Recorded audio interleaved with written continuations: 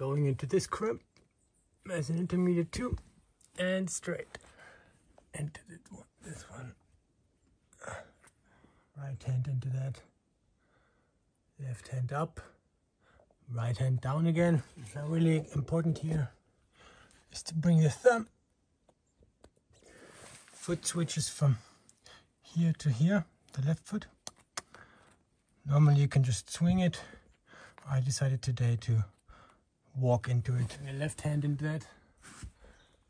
It's not hard, but it's hard to arrange the fingers in a way to do the rose move. And this is the crux. Possibility to bring the middle finger much deeper in and it feels like it's better, but I'm feeling stronger going like to the first edge and align my three fingers. A little uh, edge and I try to bring my front two in it.